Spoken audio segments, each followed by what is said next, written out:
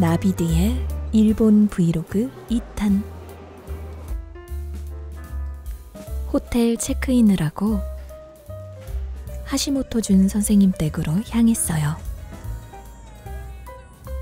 커피를 좋아한다는 제 말에 선생님께서 직접 핸드드립 커피를 내려주셨습니다.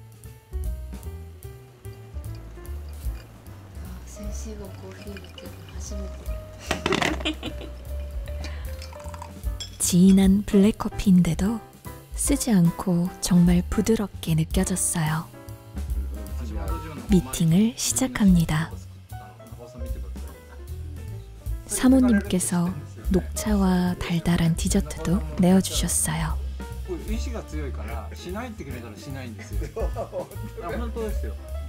미팅을 마치고 식사를 하러 이동했는데요. 선생님께서 가장 좋아하시는 더 오쿠라도쿄에 도착했습니다. 일본의 전통과 현대적인 디자인이 조화로운 럭셔리 호텔이에요.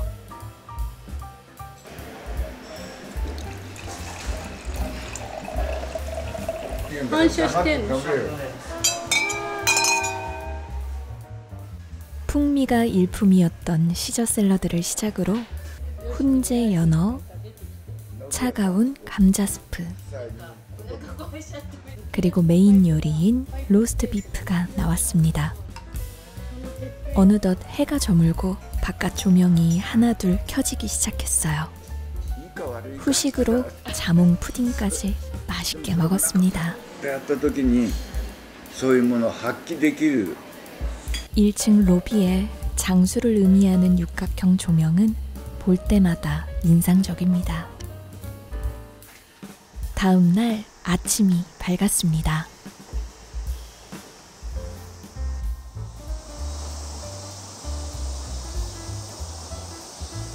시간을 내어 근처에서 가장 가까운 브런치 카페로 향했어요.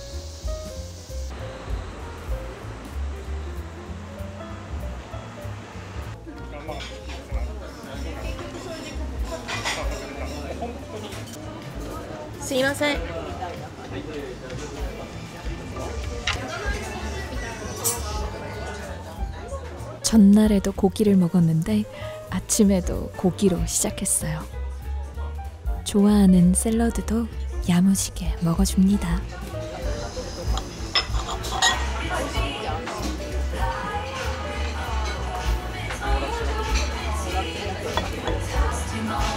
아이스쿠미 사키니 오네가이시마스.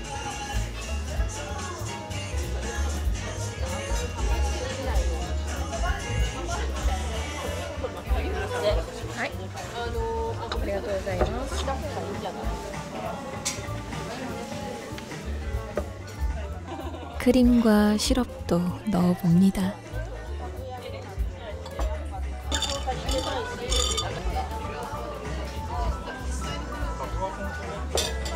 마지막 남은 고기 한 점까지 클리어 했어요. 미팅 시간을 체크하고 일본 노래를 연습합니다.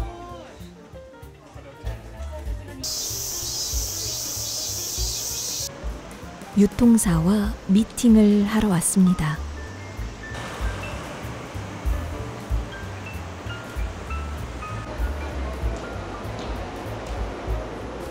후지 퍼시픽 뮤직과의 만남이었는데요. 대회비이기 때문에 브이로그에는 담을 수가 없었습니다. 그래서 먹는 모습만 공개하게 되네요. 더 오쿠라 도쿄에서 간단히 요기를 합니다. 미키 카츠이코 씨와 만났는데요. 앨범을 선물 받았습니다.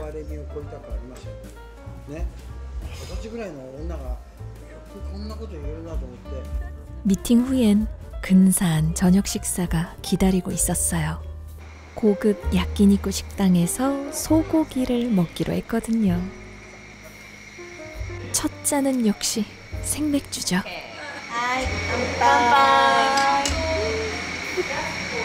れ裏の通りよね。何あれ？レストラン。サントリーうん。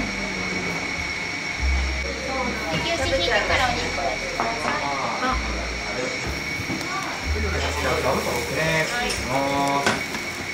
美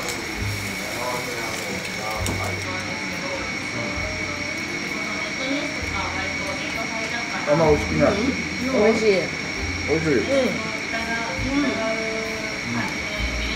結構塩が効いてる。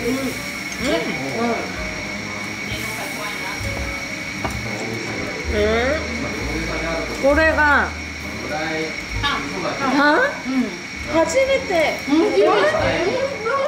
소의 혀는 처음 먹어봤는데요. 쫄깃한 식감이 낯설게 느껴졌어요.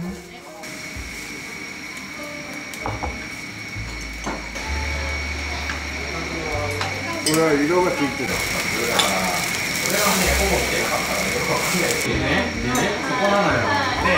それがだから当時一高校生大学生ぐらい 제가 뜨거운 걸 잘 못 먹는데 입천장 데이는 줄도 모르고 엄청 맛있게 먹었습니다. 부드럽고 고소한 육즙이 입안 가득 퍼졌어요.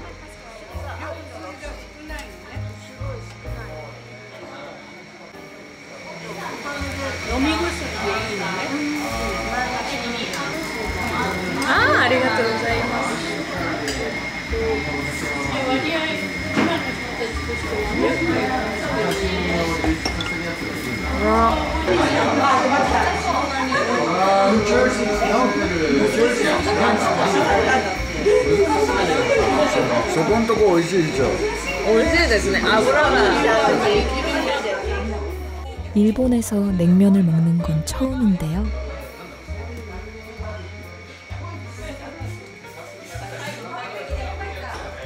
면발이 굵은 편이었고 조미료 맛에 슴슴한 평양냉면과 비슷했어요. 좋은 분들을 만나 맛있는 음식을 먹고 새로운 목표를 같이 그려나가는 것이 감사하게 느껴지는 저녁이었습니다. 숙소로 돌아와 짧은 일정을 마무리합니다.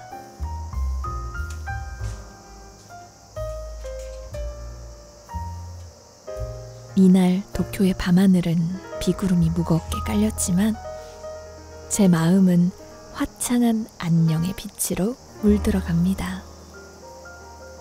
다음 브이로그에서 또 만나요.